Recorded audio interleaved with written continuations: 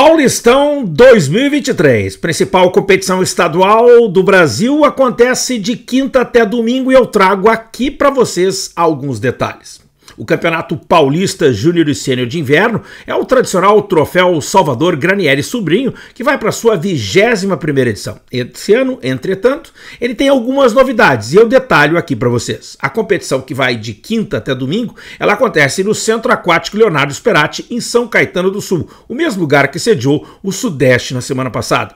A competição tem duas formas de disputa pela manhã. Acontece a disputa por categoria, ou seja, os atletas disputam suas provas dentro do Júnior 1, dentro do Júnior 2 e dentro do Sênior. Aos melhores tempos das eliminatórias, ou perdão, da disputa pela manhã, passam para uma prova final à tarde, uma super final, que vai reunir aqueles que serão os oito melhores tempos. Isso acontece por quatro dias, são 26 provas na quinta, 25 na sexta, 32 no sábado e outras 26 no domingo.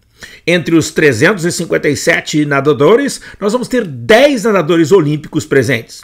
Pinheiros e Corinthians são as duas maiores equipes na competição, são 42 atletas. O SESI tem 31. Estão presentes praticamente todos os principais nadadores do estado de São Paulo, com exceção do grupo que treina com o Fernando Pocente no Rio de Janeiro e o próprio Guilherme Costa, que treina com o Rogério Carfunkenstein no Rio de Janeiro. O Campeonato Paulista Open, o Paulistão 2023, vai ter transmissão da FAP. Você vai poder acompanhar na, no canal de YouTube da TV FAP de quinta até domingo, contando com a audiência de vocês e que nós teremos aí uma grande competição.